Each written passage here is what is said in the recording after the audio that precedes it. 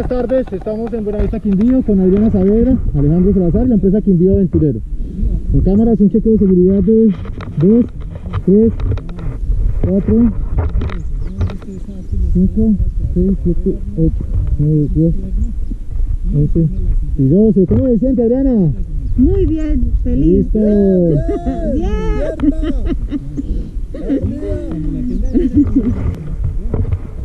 Adriana.